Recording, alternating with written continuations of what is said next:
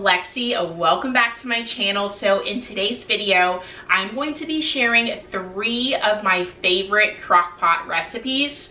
All of these recipes are seriously so delicious. I know you guys are going to love them. I have something for seriously every taste bud. I have a soup recipe which is packed with so much flavor. I'm going to be sharing my chicken tortilla soup with you guys. I'm also going to be sharing like a shrimp boil that you can do in the crock pot. It is seriously so easy to make. And I'm also going to be sharing some steak fajitas in the crock pot.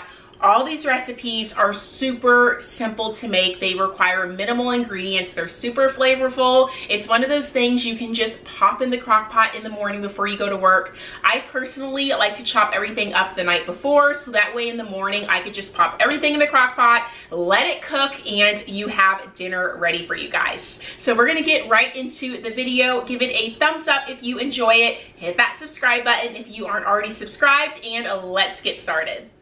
All right, guys, so the first recipe we're gonna be cooking up is this delicious white chicken chili. It is seriously so delicious. It has so much flavor. You can definitely chop up all these ingredients the night before to make it a lot easier so you can just toss it in in the morning before work. But it really doesn't require that much prepping. I am just starting off by chopping an onion and then you're gonna go ahead and put your chicken at the bottom of the crock pot and you're gonna add all of your seasonings. I will leave the exact recipe down in the description box for you guys, but I'm just adding some salt, some black pepper, some cumin, oregano, chili powder, cayenne pepper. I told you guys this recipe was packed with tons of flavor. I'm also adding a can of some corn, some green chili, some fresh cilantro, and then you want to add some chicken broth, which is going to be at the base of this soup. You guys, this is a recipe that I know you all will love. So I cooked mine on high for four hours, but you can definitely do it on low for eight hours. And you just take the chicken out once it's been cooking for about four hours. And then I just shredded it with two forks. So it's super simple. And then you're gonna add that chicken back in there. And then only thing you have to do now is add your cream cheese and some half and half cream and let it cook for an additional like 15, 20 minutes. And it is all done. You guys will have the best white chili soup you've ever had. Now for the second recipe, this one is so good too. So we are gonna be making some steak fajitas. I wanted to share with you guys two different ways you can make them. You can put it on tacos, which is my favorite way, or you can also serve this on a bed of lettuce if you are watching your carbs. So for this recipe, you're gonna need two peppers. You can choose any color you want. I went with a yellow and red because that's what I had on hand. And you need 12 ounces of a protein. You can do chicken as well. I love doing steak. It is so good. I'm using sirloin steak, so I just chopped chop that up. I'm also putting the onion in the crock pot. You guys, this is seriously the simplest recipe to make. And then I use fajita seasoning. It doesn't really matter what brand you use. I also add some water and some olive oil into the crock pot. And I like my food super flavorful, so I did go in and add some salt, some pepper, some garlic, and also some fresh garlic. And you guys, this is how it looks before it cooks. I cooked it on high for four hours, but you can also cook it on low for eight hours.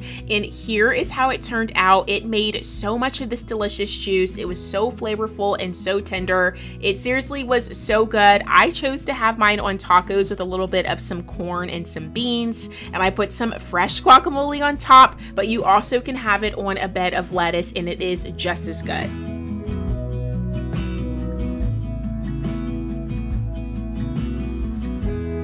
So this recipe I think is my favorite. I know I've said this about every single one, but this one is one I probably will cook the most often. It is so delicious, you guys. So this is my crockpot Cajun kind of shrimp boil. It is so simple to make. So the first thing you wanna do is you wanna chop up all of your ingredients. So you're gonna need some green onions. You're gonna need a pepper. It can be any color you have on hand. I had an orange one on hand. You're also gonna need an onion as well. Once you have your sausage chopped up, I picked mine up from Aldi's. It's just some beef go ahead and spray the bottom of your crock pot with some cooking spray and make sure the sausage is at the bottom of the crock pot so it can get nice and crispy. And then you add your peppers and your onions and then you're gonna go ahead and chop up your potatoes. I personally love to keep the skin on my potatoes. I find that it has so much more flavor, but if you are not a skin kind of person, you can definitely shred them. And then I'm adding some onion powder. I'm using some Cajun seasoning. I'm also using some Italian seasoning. And then you want to make sure you get some crab boil seasoning. I will link the exact brand that I used.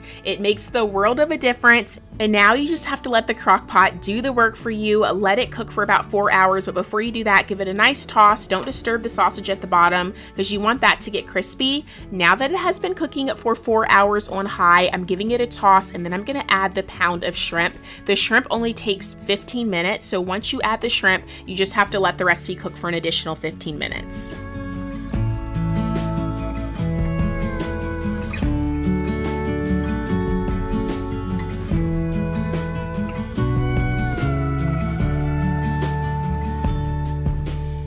So this Cajun crockpot shrimp boil is all done. I like to top mine with green onion. I think it gives it some additional flavor and also a really good crunch.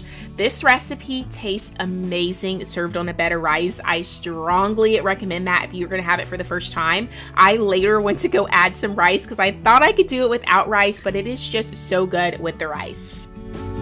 Okay guys, that completes today's video. I hope you guys enjoyed me sharing some of my favorite fall crockpot recipes.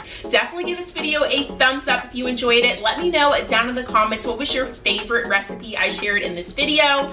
I don't know about you guys, but I love crockpot recipes in the fall time because we have shorter days and longer nights and I don't like to be in the kitchen for too long. So these are seriously perfect. So I hope you guys enjoyed it and I will be seeing you guys very soon with a brand new video.